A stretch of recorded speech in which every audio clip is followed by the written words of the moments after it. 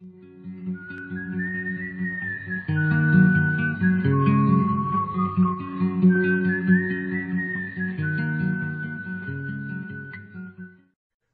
last time we got into um, 1 John chapter 2, and we got through, I think, verse 17, which means we have the remainder of chapter 2 to look at tonight. So we pick it up at verse 18, of course. And John said, Little children, it is the last hour. And as you have heard that the Antichrist is coming, even now many Antichrists have come by which we know that it is the last hour. They went out from us, but they were not of us, for if they had been of us, they would have continued with us. But they went out that they might be made manifest that none of them were of us. But you have an anointing from the Holy One, and you know all things. I have not written to you because you do not know the truth, but because you know it, and that no lie is of the truth who is a liar but he who denies that Jesus Christ, excuse me, that Jesus is the Christ?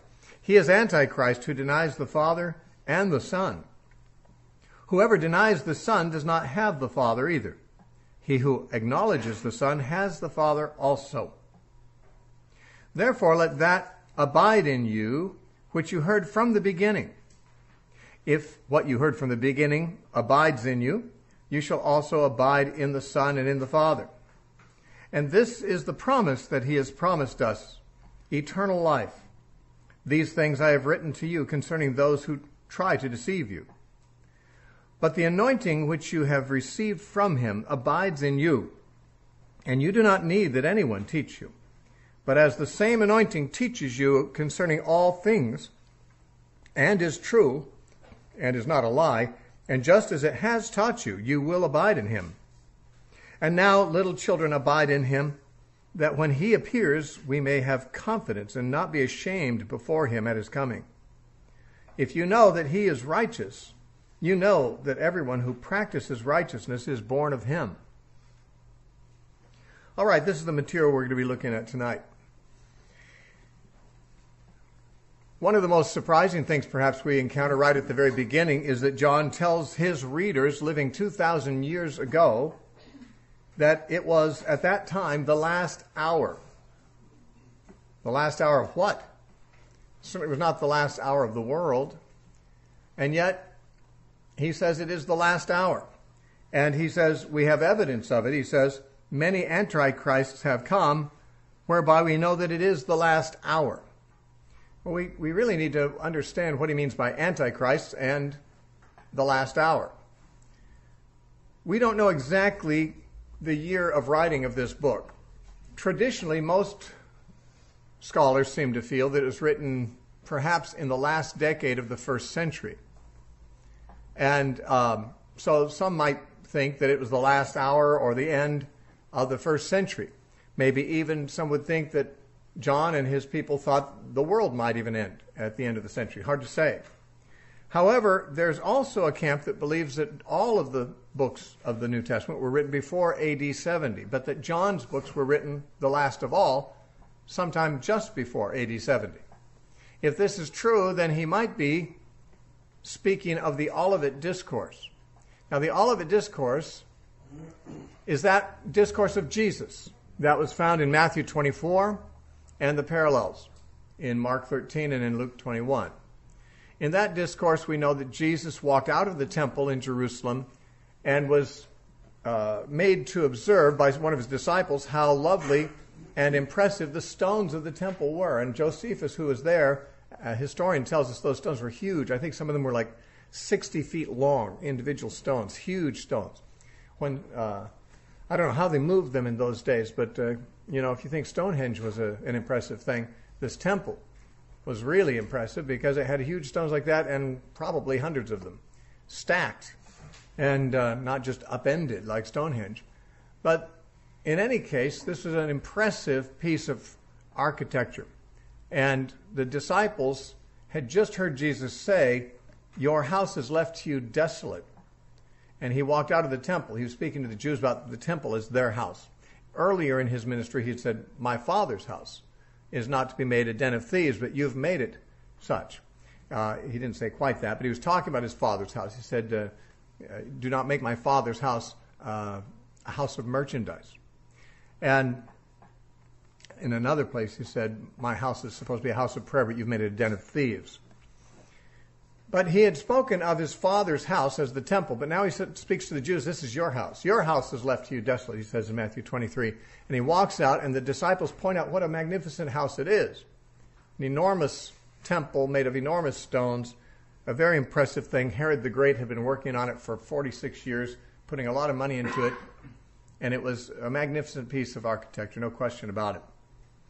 But Jesus said, Do you see all these things? Not one of these stones will be left standing on another that will not be thrown down. Which, of course, did happen when the Romans destroyed Jerusalem 40 years later. And the disciples came to him, four of them anyway, according to Mark 13, which is the parallel.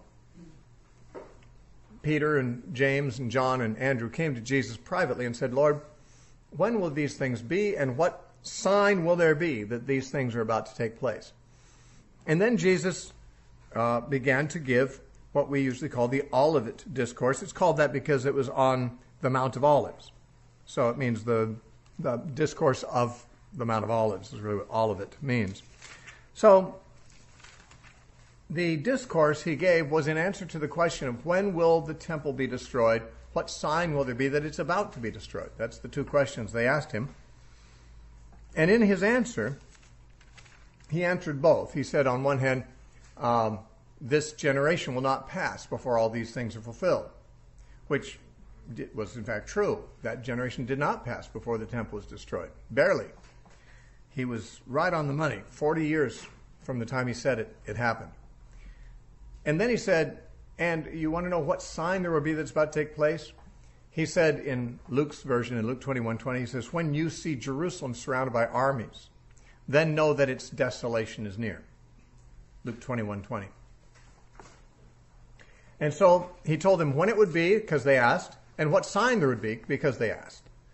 And, uh, and he said it would happen in that generation, and it would be uh, heralded by the approach of armies surrounding Jerusalem. And he did say his disciples should flee at that time. Now, John was one of the people in that small number of people to whom Jesus spoke. And that discourse of Jesus is recorded uh, in three of the Gospels. Now, when Jesus was answering the question about uh, these things, he actually said, among other things, in verse 5, Matthew 24 5, For many will come in my name, saying, I am the Christ, and will deceive many. In other words, there'll be false Christs. And he also later, if you uh, read on f- further through, he mentions there'll be false prophets as well as false Christs. Now, John, in his letter, warns about false prophets in chapter 4. He says, Many false prophets have gone out into the world. And he says, you've heard that the Antichrist is coming. Now, we need to know what he means by the Antichrist. Many people think they know because there's popular views on it, but the question is, what did John mean by it? Um, and he says, we, there are many Antichrists that have already come, and by this we know it is the final hour. Jesus had said there'd be false messiahs, that's Antichrists, and there would be false prophets. And John makes reference to both of them as present at the time he's writing. And since these things were predicted by Jesus to occur before Jerusalem would fall, my theory is that this was written before that and very near to that time. So that John says it is the final hour. That is the final hour of that generation that Jesus said would tra- not transpire before these things happen. Now, this is obviously different than what a lot of people think about these subjects. A lot of people, whenever they hear about the last days or whatever, they think it's the last days of the world. And in fact, it's often discussed do you think we're living in the last days? Well, when the Bible uses the term the last days, at least in the New Testament, it never applies them necessarily just to the end of the world. Uh, Hebrews chapter 1 begins with these words God, who at sundry times spoken to our fathers by his servants, the prophets, has in these last days spoken to us by his Son. In other words, the time that Jesus came and spoke to us the writer of Hebrews says, is these last days. Peter says in 1 Peter chapter 1 that Jesus was foreordained before the foundation of the world, but was manifest in the last days to us. In other words, when Jesus came, it was manifest to Peter and his generation. That, he said, was the last days. On the day of Pentecost, when Peter was preaching about the phenomenon that occurred and was requiring explanation, the speaking in tongues and all that that was going on, and people said, What's going on here? Are you people drunk? And Peter said, We're not drunk. This is what Joel, the prophet, said would happen. And he quotes him In the last days I will pour out my spirit, says the Lord. Well, Peter's saying, This is it. God said in the last days he would do this, and he's done it. Notice Peter and John and Uh, you know the writer of Hebrews, they believed they were living in the last days. Now they they were either wrong or they were right. If they were wrong, then they were all consistently wrong because all of them said it. Even James said it, by the way. It says in James chapter 5 verse 3 when he's rebuking the rich men, he says, Your gold and silver are corrupted, and their corrosion will be a witness against you, and will eat your flesh like fire. You have heaped up treasure in the last days. The rich men of his own time, he said, had heaped up treasure in the last days. Uh, uh, not a very good time to be laying up treasure since these are the last days. You're not going to be able to take it with you. Why not do something more profitable with it? The point is that James, Peter, John, the writer of Hebrews, whoever that was, all spoke as if they were in the last days. And uh, we didn't mention Paul. Paul also did so. Look at uh, 1 Corinthians chapter 10, verse 11.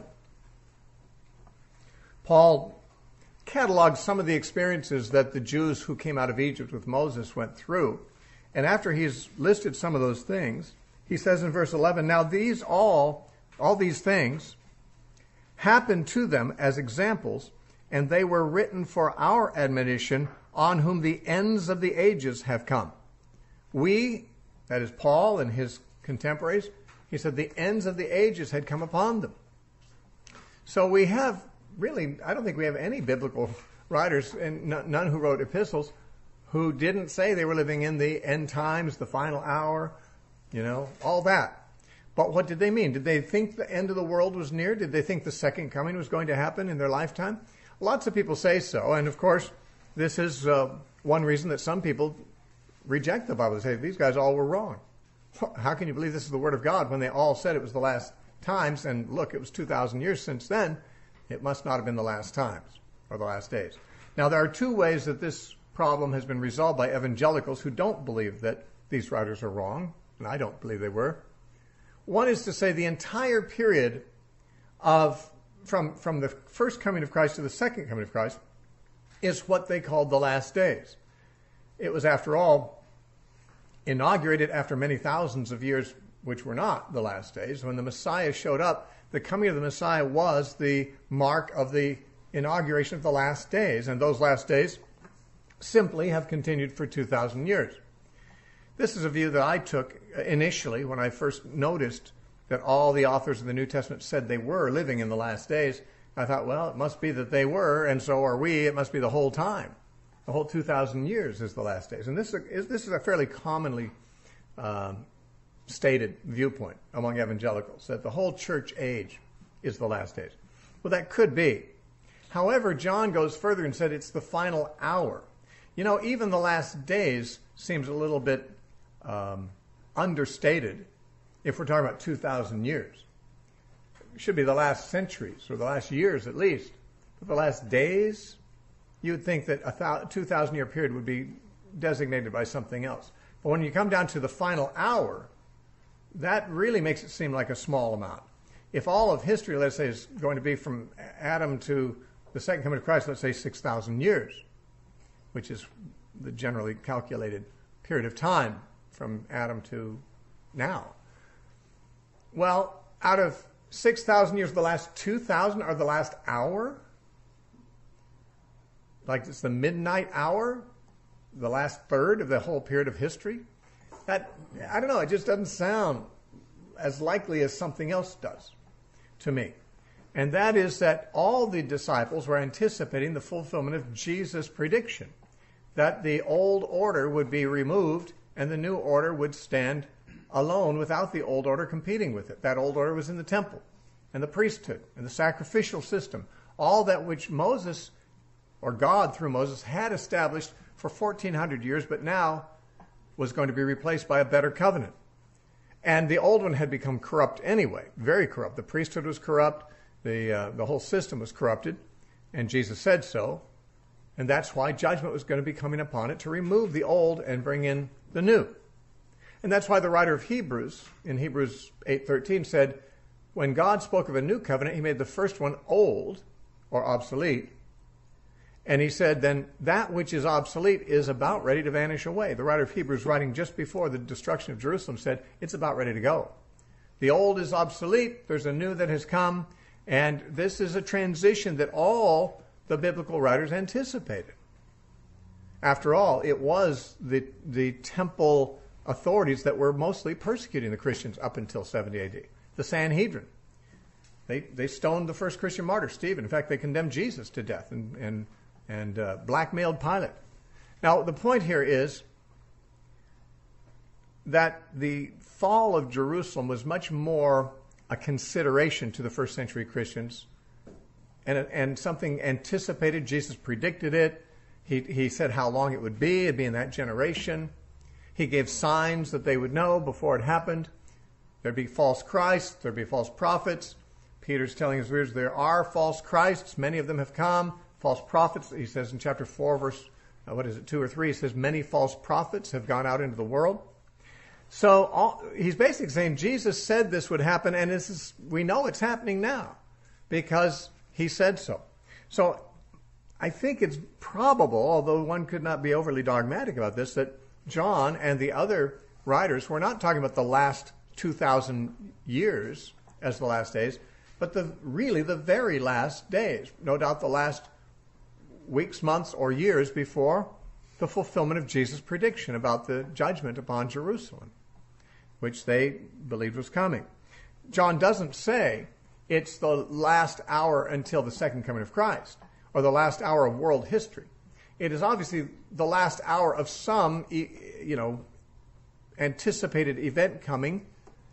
And uh, unless it was the fall of Jerusalem, we cannot fix anything with certainty that happened shortly after, you know, his writing it that could be what he was talking about, which makes it seem, at least to many, that he'd have to have been mistaken. I don't believe they were mistaken. I think he's right. And I think he wrote it probably just shortly before Jerusalem fell. And so he says, Little children, it is the last hour, and I believe he's correct. I'm going to go with that. And it says, And as you have heard that the Antichrist is coming, even now many Antichrists have come, by which we know that it is the last hour. Now, what does he mean by the Antichrist? Now, I know what the average modern preacher means by the Antichrist. They mean um, a certain world ruler that they anticipate to rise, uh, probably in Europe, maybe in Rome, uh, to deceive the world, to uh, regard him as perhaps the Messiah. He's a false Messiah, that he ends up betraying Israel. He ends up persecuting believers in Jesus. Uh, he gives everyone a mark, and they, and if they don't take the mark, uh, showing their loyalty to him, they get uh, killed, and so forth. This is a scenario that many people believe Revelation teaches will happen in the very end of time, in the last seven years, in the, what they call the tribulation period. And they believe that this period will be dominated by this world dictator, this anti Christian world dictator, and they call him the Antichrist. Now, the one thing I would point out, just as a matter of fact, is that the word Antichrist is not used in any passage in the Bible about the end times. If by the end times we mean the times nearest to the second coming of Jesus. The word Antichrist just doesn't appear in the book of Revelation. It doesn't appear in Second Thessalonians. It doesn't appear in Daniel. These are books that many people derive their end times viewpoint from. The word Antichrist isn't there. In fact, the word Antichrist is found only in 1 John and 2 John. What he says in 2 John is just the same as what he says in 1 John. Because in 2 John verse 7 he says, For many deceivers have gone out into the world who do not confess Jesus Christ as coming in the flesh. This is a deceiver and an antichrist. He doesn't say the Antichrist, he says an Antichrist. Anyone who doesn't confess, he says that Jesus has come in the flesh. And in this chapter, 1 John 2, he says anyone who doesn't confess that Jesus is the Christ, whoever denies that Jesus is Christ, that person's an Antichrist. And he says there are a lot of Antichrists have come. That's how we know it's the last hour. Now, how is John thinking here? Because he starts out by saying, You've heard that the Antichrist is coming. Okay, so this encourages people to think of there's one Antichrist the Antichrist. There's one, you know, evil man par excellence who is going to be the quintessential anti-Christian guy. Now, none of the John doesn't tell us even if if the Antichrist is a political figure uh, or you know he doesn't tell us anything about his career. He just mentions you guys are expecting the Antichrist to come. So we have to ask what what did they understand the Antichrist to mean? What were they expecting? He he says, You have heard that the Antichrist is coming. Where did they hear that? Which passages in the Bible might have been used uh, to inform that expectation?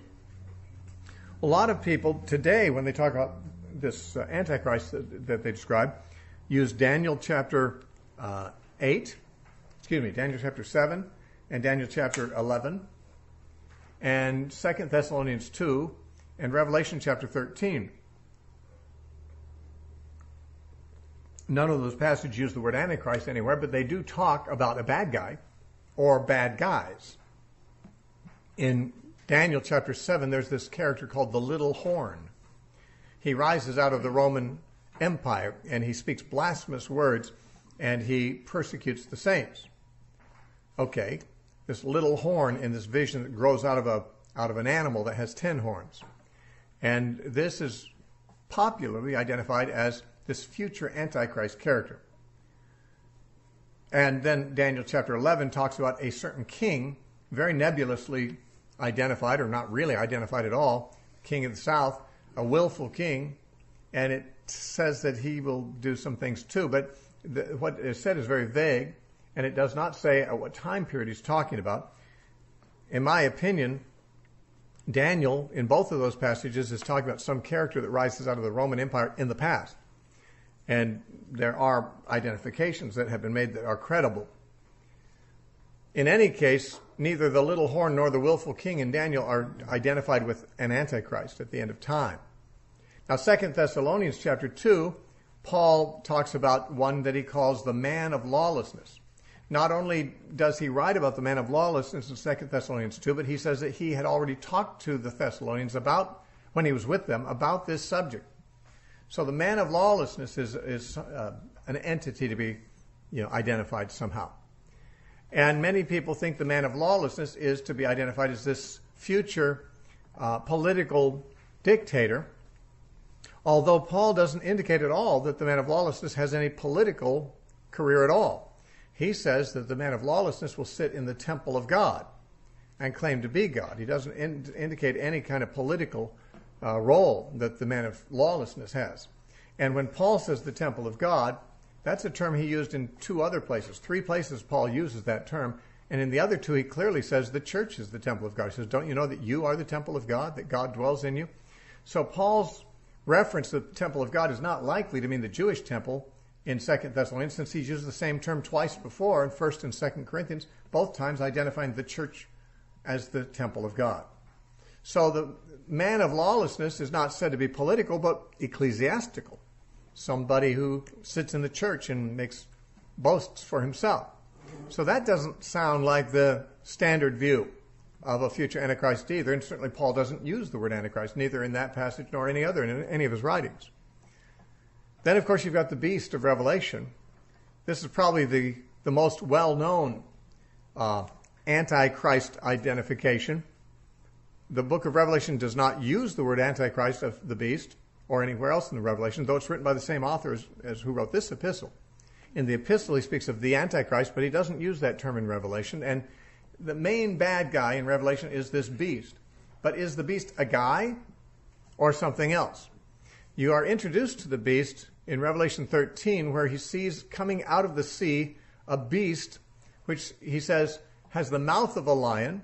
It is like a leopard. It has the feet of a bear, and it has seven heads and ten horns. Now, is this a person or what? Well, it seems clear that this beast in Revelation is uh, a, a, conglomerate or a, a, a mixture of the seven beasts in Daniel 7. Because Daniel saw seven beasts come out of the sea, like this one comes out of the sea, but he saw a lion, followed by a bear, followed by a leopard, followed by an unidentifiable beast that had ten horns. So Daniel sees a lion, a bear, a leopard, and a ten horned beast. And this beast that comes out of sea has the mouth of a lion, the feet of a bear, the body of a leopard, and ten horns, and seven heads to boot. So there's additional information here. Now, when an explanation is given of this beast in Revelation 17, it says the seven heads are, are two things. A, they are seven hills, seven mountains upon which the harlot sits, and they are seven kings. So the seven heads of the beast are seven kings. Likewise, the ten horns are said to be ten kings who give their power to the beast. Now, here we have an animal that has seven kings' heads and ten kings' horns. These are not, this animal's not an individual person any more than the beasts in Daniel were an individual person. They were kingdoms. They were political systems. The first was Babylon, the second was Media Persia, the third was Greece, the fourth was Rome. Virtually all evangelicals agree about that identification of Daniel's beasts.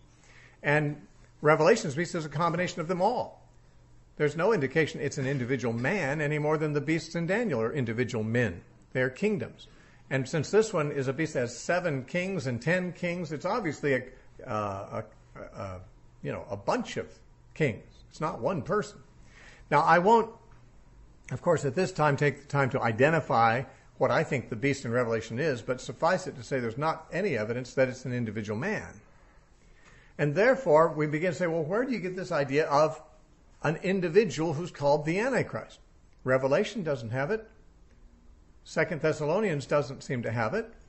Daniel doesn't seem to have it, and you've pretty much exhausted all the passages ever used to say it, except for some vague ones, like where Jesus said, I come in my Father's name and you reject me. Another will come in his own name, him you will accept. When I was a dispensationalist, I thought that was a reference to the Antichrist, though it's not at all clear that that is so. Jesus could be speaking generically. You'll accept a man who comes in his own name, but you won't accept me when I come in my Father's name. He is not necessarily making a prediction just making an observation. But once in a while, you you'll see uh, an odd verse, you know, thrown into the mix of the Antichrist conglomerate imagery, but none of the passages that are used to speak of this expected individual Antichrist, none of them really, in their context, have any real clear reference to an individual, nor necessarily to someone coming in the end of time. So, this idea that the last three and a half years of the tribulation and the end times are going to be dominated by this political figure, well, I'm not against it. I, to tell you the truth, I wouldn't be surprised. I, I wouldn't be surprised if there's some anti Christian dictator arise. He might even already be on the scene. But the question is, is the Bible predicting that? I mean, lots of things will happen that the Bible said nothing about. And if the world should someday have one world government under one dictator, who would be surprised? Even if we didn't have a Bible, we could check the present trajectory of politics and geopolitics and say, well, I think that's easy to predict. Probably if we go long enough, it'll go that way. So I'm not denying that we ha- may have to face sometime an anti Christian superpower political leader. The question is, what does the Bible teach on the subject? And the, and, and the answer is not easy to find because it's hard to find any passage in the Bible that when you exegete it in its context, it really seems to be talking about that. So, what did they hear when he said, You have heard that the Antichrist is coming? We think of the Antichrist when we hear that term as an, we got all this, uh, what shall we say, this, this Christian, this end times Christian almost mythology. I don't want to say mythology to make it sound bad, but basically there's this whole um, ethos that we that we've been taught about the end times from popular dispensational teachers, but but is that what John means? Is that what his is that what his readers had heard? Had they heard about this kind of a character coming up in the last days? If so, where is it mentioned in in Scripture? Who told them about it, and when? And did, was there any record of it? Uh, we don't know. But there is more on this in First John. If you look over at First John chapter four. It says, Beloved, verse 1, do not believe every spirit, but test the spirits whether they are of God, because many false prophets have gone out into the world. Now, Matthew 24 5, Jesus said there will be false prophets and false Christs. By the way, the, the word anti-Christ, the Greek particle anti, which is a, uh, the first part of that, it can mean instead of or it can mean against. In the Greek language, anti is used both ways when connected to different words. Sometimes it means against the thing, or sometimes it means instead of the thing, in its place. Now, an antichrist, therefore, could be one that is in the place of Christ, a false Christ. And Jesus said there will be false Christs, plural, and false prophets, plural. John says in 1 John 4, there are many already false prophets have gone out into the world. And of course, we saw a moment ago in 2 John, he said many antichrists have gone out into the world. Uh, both statements are made. But look at this in verse 3. Every spirit that does not confess that Jesus Christ has come in the flesh is not of God, and this is the spirit of the Antichrist, which you have heard was coming, and now already is in the world. Wait a minute. Which you heard was coming. What had they heard was coming? The Antichrist, right? Which he says is already now in the world. That is, whatever they had heard was coming, John said, it has come. We could have deduced that already from what he said in chapter 2 when he says, it's the final hour. You've heard that the Antichrist is coming, and now there are many Antichrists, so we know it's the final hour. In other words, the thing predicted has come. Many Antichrists. But how is it that many Antichrists are the Antichrist? Well, look what he says there in, in 1 John 4. Every one, every spirit does not confess that Jesus Christ is, it says, the spirit of the Antichrist. Now, the word spirit in your Bible is in italics. That's because it's not in the Greek text. Something seems to belong there because the way it actually reads literally in the Greek text is, this is the of the Antichrist. The blank. So translators have put the word spirit in there because it's talking about every spirit that doesn't confess Jesus Christ. So they say, well, that's the spirit of the Antichrist.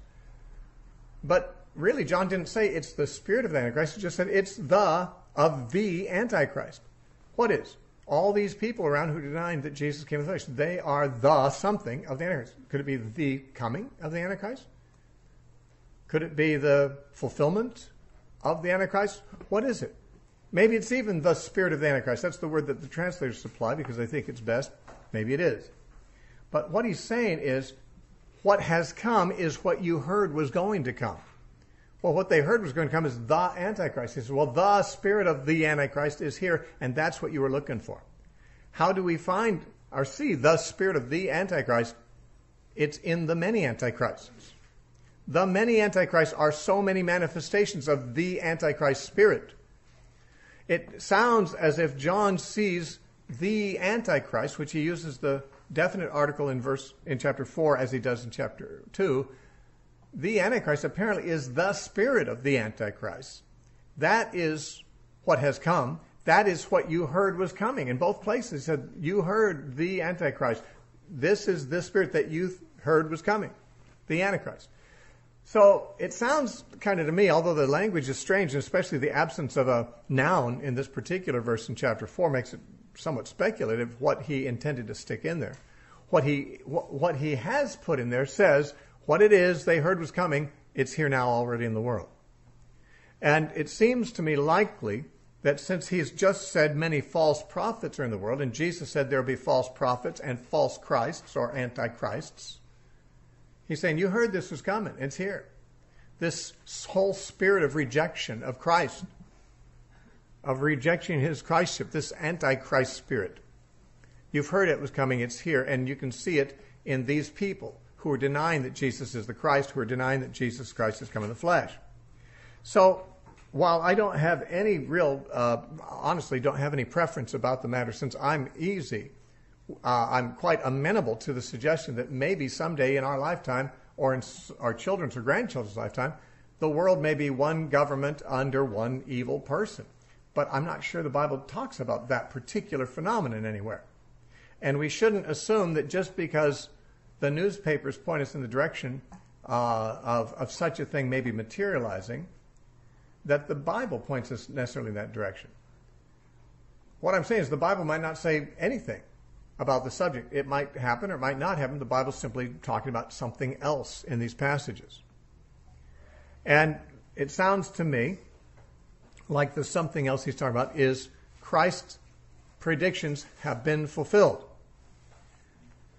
Because when they asked, when will Jerusalem be destroyed? He said, well, let me give you some information here. And in, in Matthew 24, 5, he said, For many will come in my name saying, I'm the Christ, and will deceive many. You will hear of wars and rumors of wars. They did, by the way. See that you are not troubled. He said, verse 7, Nation shall rise against nation and kingdom against kingdom. That happened. The, the contemporary historians, including Josephus, records these things happened. And Josephus didn't even know Jesus predicted it. And it says, um, well, it says a number of other things here, but verse 11, Matthew 24, 11 says, Then many false prophets will rise up and deceive many. So many false Christs, many false prophets. John says many false prophets have gone out in the world. He almost uses Jesus' exact prediction and says this has happened. So I'm getting the impression from comparing these scriptures, and I'm not, I'm not leaving any out on the subject. In case you think I'm being selective in order to come up with some kind of a, a, a you know some kind of pre-planned conclusion. I don't have any interest in what the conclusion. I just want to know what John's talking about. And I'm not leaving anything out that I can think of that I've ever found in Scripture about Antichrist. What he's saying is the Antichrist that you thought is coming is here in the person of many false Christs, many Antichrists. This is the spirit of Antichrist that you heard was coming. It's here. And he says, of them, the Antichrists, plural, verse 19, chapter 2. We're talking about 1 John 2 19. They went out from us, but they were not of us. For if they had been of us, they would have continued with us. But they went out that they might be made manifest that none of them were of us. Now, this verse is sometimes used to prove that if people backslide, they never were really Christians in the first place. I mean, it sounds like it. They went out from us, meaning from, from our Christian company. They, they were in it, but they're not now. They left. And he said, if they had been really of us, they would have stayed. But they went out proving that they never were of us in the first place. This is an excellent Calvinist proof text because they believe in perseverance of the saints. They say if, um, if you're really saved, you will stay saved. You will persevere. If you depart from the faith, it only shows you never were really saved. And that John's statement, taken in a vacuum, would seem to be a great proof text for that. In fact, Calvinists use this text to make that very point. Is John using it to make that point? He's not talking about backsliders, he's talking about false teachers. He's talking about people who are denying that Jesus is the Christ. He's talking about those in the spirit of Antichrist who are teaching false doctrine that Jesus is not come in the flesh. He says these teachers were in our midst. Fortunately, they left because they were never really they never really belonged here. They never were really of us. That is, maybe John means of us apostles. The reason I say that is John frequently refers to him and his fellow apostles as us. As he will later say, He that is God hears us. He that is not God does not hear us. These teachers were not one of us.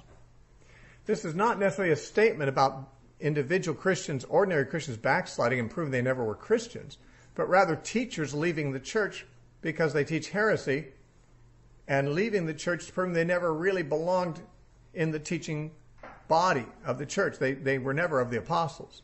They were never on the same page with us, he says. And I, I think since this is really talking about the false teachers, that, that it's not really a, a verse about uh, generic perseverance of Christians, but rather these teachers have not been able to tolerate the church with John in charge because their views were too much different from his, apparently from the beginning. And so they left, proving that they were never really of us in the first place. But he says, But you have an anointing from the Holy One, and you know all things. Now, this statement is expanded on in verse 27. He said, The anointing, in verse 27, which you have received from him abides in you. That means remains in you. And you do not need that anyone teach you, but as the same anointing teaches you concerning all things, and is true and is no lie, And just as it has taught you, you will abide in him. Now, there's a lot of abiding here in this passage. This is typical of John, who in, in his gospel talked a lot about abiding in Christ, who actually recorded Jesus talking about it. The other gospels don't record Jesus' statements about abiding in him, but John does, and now he's repeating what his master had said. You need to abide in Christ. You need to abide in the things you've heard before. He says that in verse 24, or excuse me, 30, yeah, 24. He says, Therefore let that abide in you, which you heard from the beginning. If what you heard from the beginning abides in you, you also will abide in the Son and in the Father. There's a lot of abiding reference here. In fact, there's so much that the King James translators decided there's too many references to the same word, so they use several different English words to translate the same Greek one. For example, verse 24 in the in the King James version says, "Let that therefore remain in you, which you heard from the beginning. If that which you've heard from the beginning shall abide in you, or I think abide is the first word, then it says remain, then you shall continue in the Father and the Son."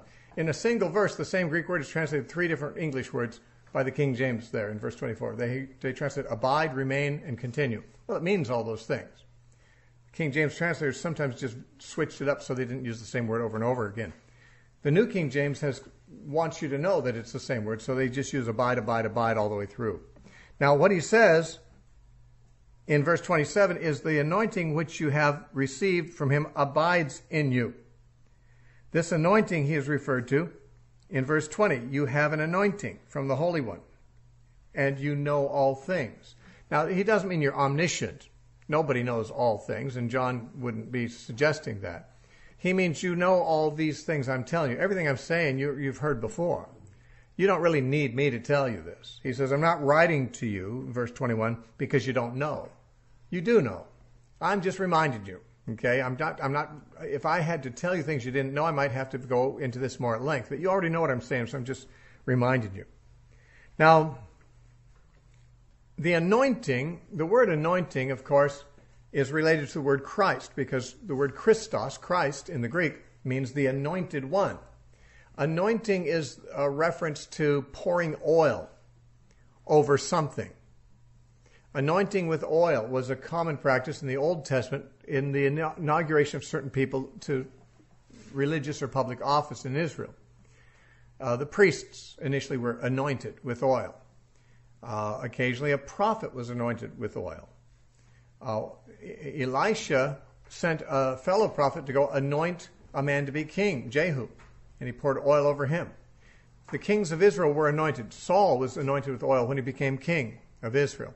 David was anointed when he became uh, king of Israel.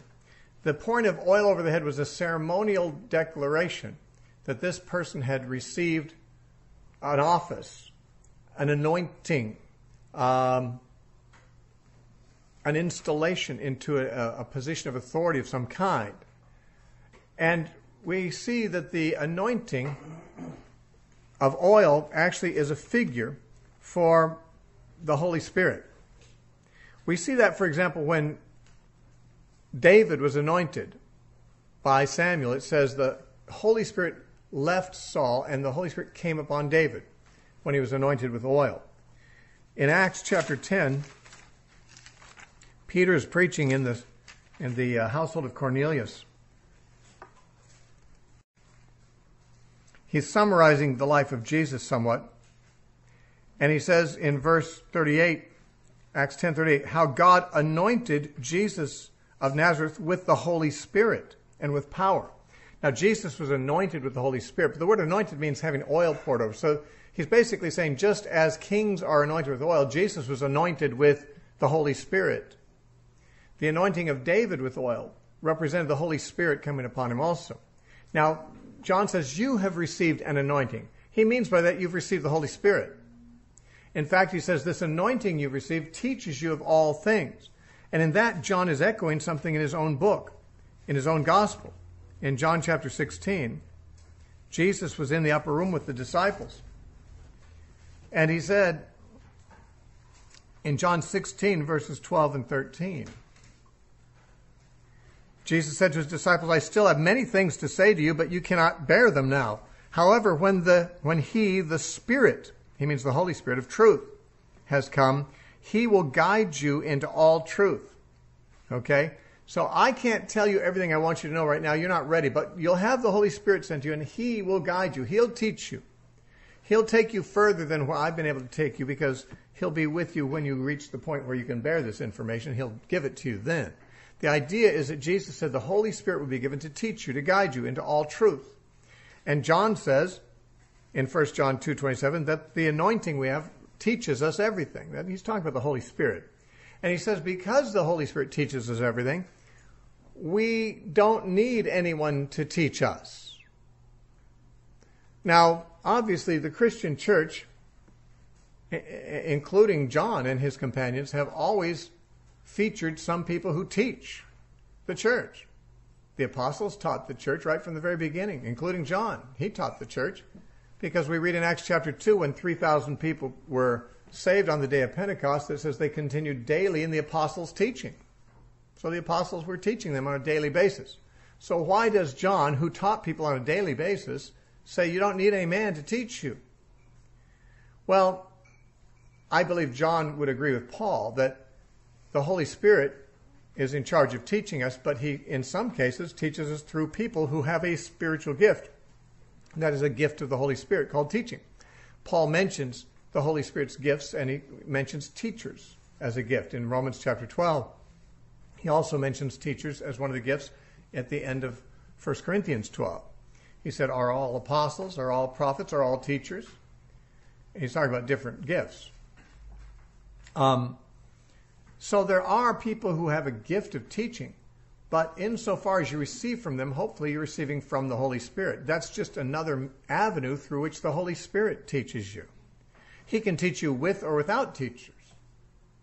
If you don't have a teacher, the Holy Spirit can teach you all you need to know. If you're walking in the Spirit and listening to the Spirit, He will guide you into all truth.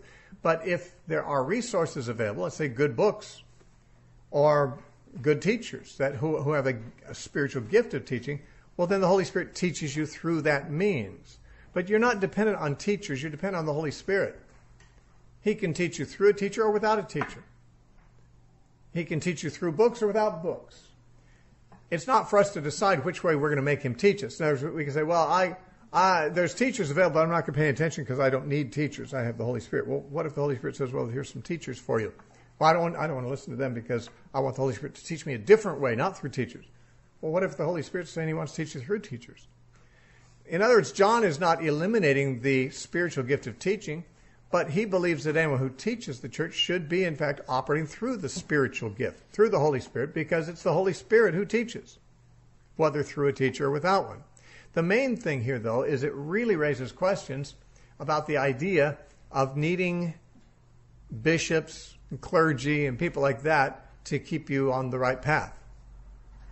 We know, for example, that the Roman Catholics and many Protestants have the attitude that you can't really trust the average Christian to stay walking with Jesus without, you know, some kind of ecclesiastical hierarchy handing down proper interpretations and so forth because people just wander off into all kinds of errors. I have a good friend who's a Roman Catholic who calls me on the air frequently from Monterey, Tom from Monterey.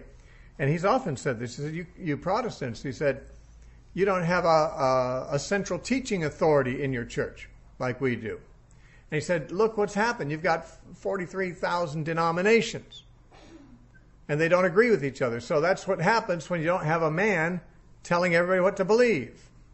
A man like the Pope or like a group of men like the College of Bishops, these people keep the Catholic Church in line. They, they make sure that the Catholic Church has a uniform set of beliefs. You get people out from under that, and they just go every which direction into craziness. And I will have to admit, some Protestants have gone into some pretty crazy stuff. But frankly, so have some Catholics. It's not, as they say, not all Roman Catholics really see things alike. There's priests who believe there should be married priests, and the Pope doesn't think so. There are, you know, there are even some Roman Catholics who think that there should be homosexual clergy, and the Pope fortunately doesn't agree with that. But there are different views among Catholics. They just don't teach them. They can't teach them and stay Catholics, and that's that's just the way things are set up there. The Protestant church is different in that you can teach pretty much what you want and you get kicked out or you can start another group and you know, I don't think starting other groups is a good idea. But I do think that letting people be led by the Spirit, if they are true Christians and really possess the Spirit, is what is biblical. You don't need some hierarchical group of clerics to think for you, to interpret for you, to teach you, to keep you from going astray. As a matter of fact, that's one of the best ways to go astray. Because, frankly, the Dark Ages didn't come about until after there was the rise of such a clerical authority. And uh, if you study church history, you'll know the Dark Ages were very, very dark, largely because of the quality of those authorities. I mean, there was a period that even the Roman Catholic historians refer to as the reign of the harlots, a series of popes who were absolutely immoral. Well, popes are people too. There's television evangelists who aren't Catholic who are immoral. There's religious leaders in every group that are immoral. The thing is, we don't have to follow them in the Protestant church. I don't have to follow Jimmy Swaggart or Jim Bakker or, uh, you know, Taggart Haggard or any of those people, thankfully. If they end up going the wrong way, that's their problem, not mine. I mean, it's mine in a way because when one member of the body suffers, all suffer. But in other words, I don't have to go astray with them. And that's a good thing because when you put everyone under one authority, then the quality of the whole body rises or falls with the quality of that person in authority, and it's not always a good thing. So, better for the Holy Spirit to lead people into all truth. And you know what I found? I, I, I told my friend Tom this too. He says, You know, Tom, there are a lot of denominations and a lot of opinions, but I don't think God's opposed to people having a lot of opinions. He is opposed to them having denominations. God is opposed to people dividing over their differences of opinions, but He's not against them having differences of opinions on a number of things that are harmless to disagree about. In fact, it allows for growth, it allows for continual interaction, iron sharpening iron. I can learn something from someone who sees it differently than I can. They may learn something from me. You know, the more different views out there there are, the more we can interact and depend on one another. Not, not in the sense that we depend on each other to tell us what the truth is, but to see things differently, to consider different aspects. I, I it's a stimulating thing. Uh, you know, I, I can get together with a Calvinist and a dispensationalist and a, you know, you name it, Roman Catholic, Eastern Orthodox, um, Pentecostal, Mennonite, doesn't matter. They're all different. They see things differently. And I can have good fellowship with them if they're willing to. That's the problem. The problem is not that people have differences of opinion, it's that the ones who do have differences of opinion too often are not willing to fellowship with people who don't agree with them. And that's the weakness in the Protestant church. It's not that they have freedom to think, it's that they, when they don't think alike, they have the immaturity that prevents them from fellowshipping with people they don't agree with. Paul didn't agree with that policy. Remember in the Church of Rome, he said, Some of you, well, you feel freedom to eat anything you want to. Others, you'll only eat vegetables. Some of you keep one day holy, some of you keep every day alike. Among the Christians, differences of opinions about these things. He said, Let everyone be fully persuaded in his own mind. You know, it's, it's not that big a deal, is it? Just fellowship, love each other, accept one another, he says, as Christ as God in Christ has accepted you. You've got people who keep a Sabbath and people who don't keep a Sabbath. That's a pretty big difference to, to some people. Paul says, nah, the one who keeps the day, he does it to the Lord. The one who doesn't keep the day, to the, to the Lord, he doesn't keep it. Just receive each other as God has received you in Christ. Paul's saying that differences of opinion don't have to divide the church. It's the immaturity of Christians that divides them, not their differences of opinion. I know that because I've been with mature Christians with lots of different opinions, and it doesn't divide me and them. It's not opinions that divide, it's immaturity that divides.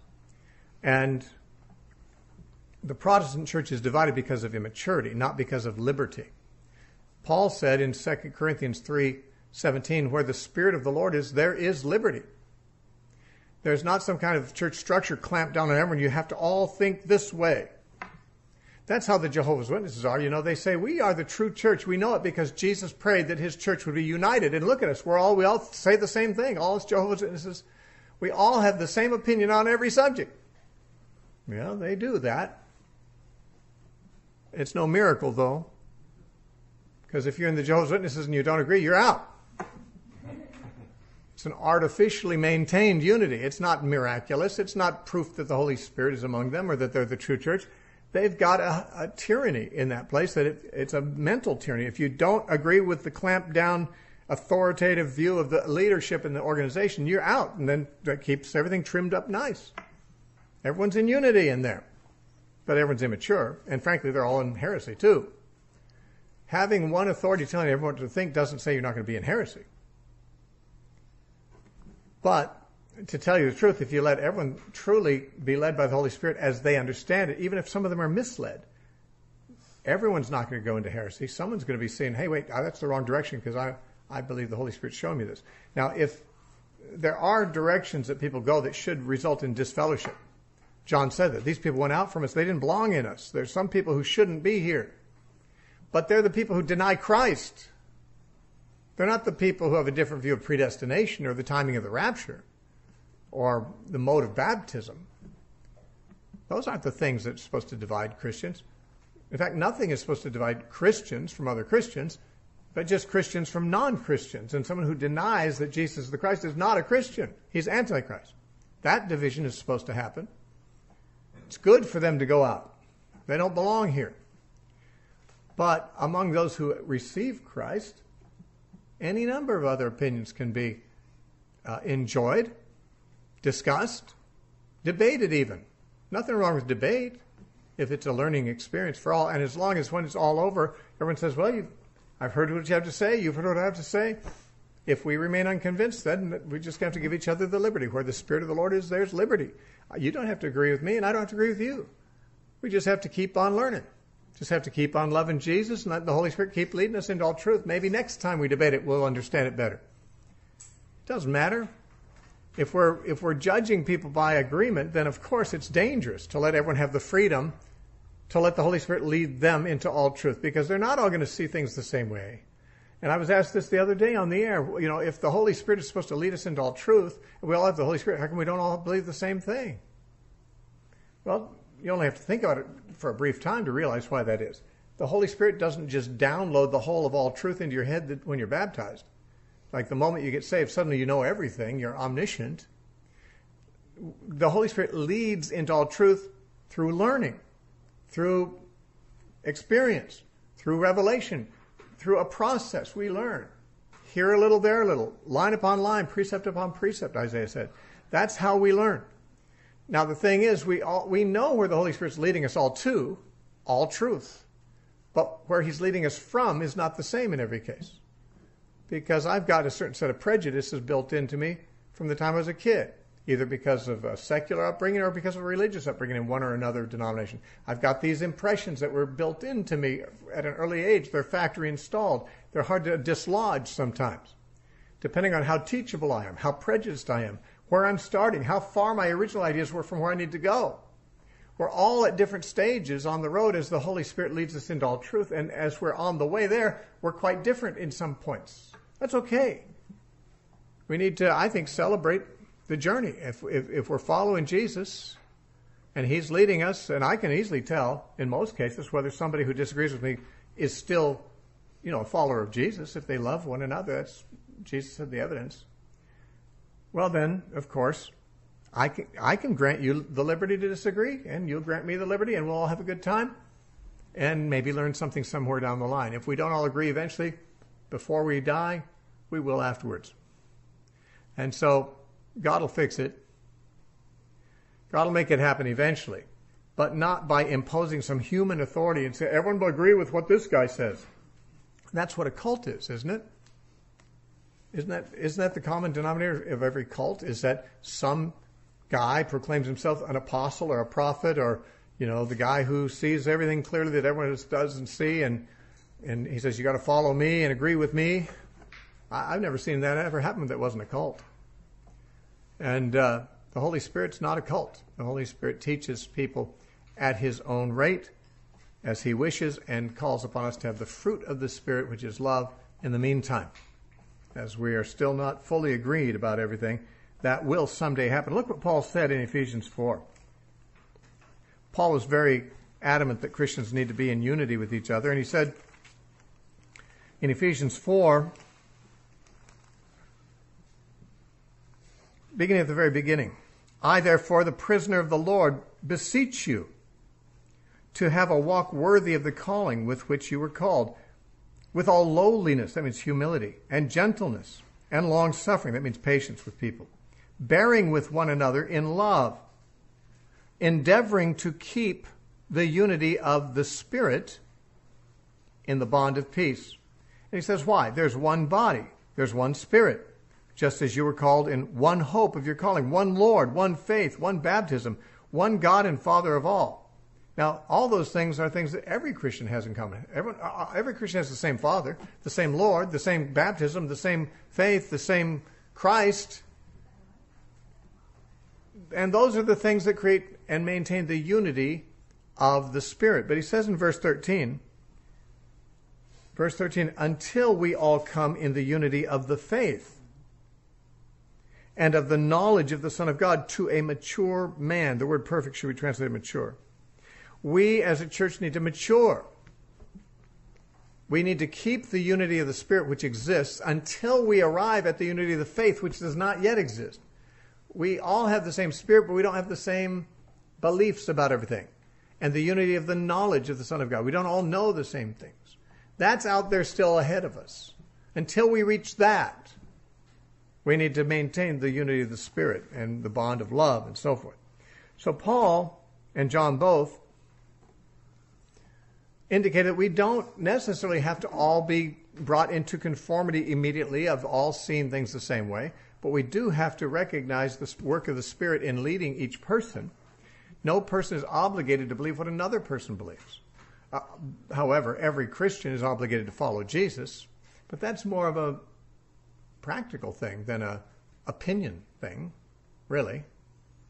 I mean, do you love your neighbor? That's then you're, you know, that's what Jesus said to do. Not an awful lot of opinions about, you know, what love is. At least there shouldn't be among Christians. So John says to his readers, I'm warning you about false teachers, but I'm not really worried that you're going to follow them. I'm just kind of nervous a little bit, so I'm just kind of re- reminded you. You have the anointing. You don't need me to tell you this. You know it already. I'm not writing to you because you don't know it. I'm writing because you really do know it. And you know that no lie is of the truth, he says in verse 21. And verse 22, he says, Who's a liar but he that denies that Jesus is the Christ? He's Antichrist who denies the Father and the Son. Whoever denies the Son does not have the Father either. Whoever acknowledges the Son has the Father also. The Father and the Son come together. You get one, you get both. You deny one, you deny both. So he says to them in verse 24, remain in that thing that you were before. Don't think you have to go into some novel new beliefs about anything. Let that remain in you or abide in you which you heard from the beginning. If what you heard from the beginning remains in you, you will remain in Jesus, in the Father, and in the Son. Jesus said in John 15, Abide in me. And John says, You will abide in him if you stick with what you were taught from the beginning and uh, don't move from there. You will abide in Christ. And he says, This is the promise he has promised us eternal life. He says, These things I've written to you concerning those who try to deceive you, but they're not going to succeed because you have that anointing in you. Now, verse 28 and 29 will be done here. And now, little children, abide in him, that when he appears, we may have confidence and not be ashamed before him at his coming. That's something to contemplate. When he appears, will we have reason to be ashamed before him when he comes? Not if we remain in him. Because Jesus said, if every branch that remains in me brings forth much fruit. Nothing to be ashamed of there. In fact, in the same passage in John 15, Jesus said, In this my Father is glorified, that you bring forth much fruit, so shall you be my disciples. I think that's verse 8 of John 15.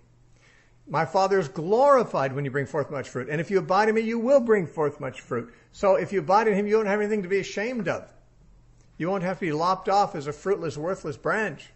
You will be able to, your life is producing that fruit that comes from abiding in Him, and that's what God wants, and we will not be ashamed. We'll be pleased that He will come to inspect our fruit because we will have something to offer Him in the way of fruit that's good. And here's what that fruit is in verse 29. If you know that He's righteous, you know that everyone who practices righteousness is born of Him. Being born of God results in you practicing righteousness. Not perfectly, but as a habit. As a practice, you do the right thing. Living righteously is a practice for those who are born of God. And if you know God is righteous, if you know Jesus is righteous, then you know that everyone who has that family trait of righteousness in their behavior must be one of his kids. Everyone that's, that practices righteousness is one of his kids, is born of him. So the fruit that we produce when we abide in him is righteous behavior, righteousness. We practice righteousness. That's the fruit he wants. And if we are doing so, when he comes, we won't be ashamed at his coming. And apparently, that is something that we should bear in mind. Perhaps we should bring it to mind very frequently. I don't know. When Jesus comes, he's going to judge everyone according to their works, Jesus said. In fact, Peter said that, and John said that, and Paul said that in various passages. Everyone's going to be assessed by their works. So, live obediently to Christ. If you're born of God, you'll have that character trait of God. That righteousness will be part of your nature. Peter said in 1 Peter 1, uh, 2 Peter 1 4, he said that we have become partakers of the divine nature. Certainly, the divine nature, one of its traits is righteousness. And if you're born of God and have his nature, you will have righteousness. You'll be practicing righteousness. That's what John says. And he, in chapter 3, he goes on more into what it looks like to practice righteousness. And we will, of course, get into that, but not tonight because of the time. And so we're going to close with this. And uh, next time we do First John, we'll come to chapter 3.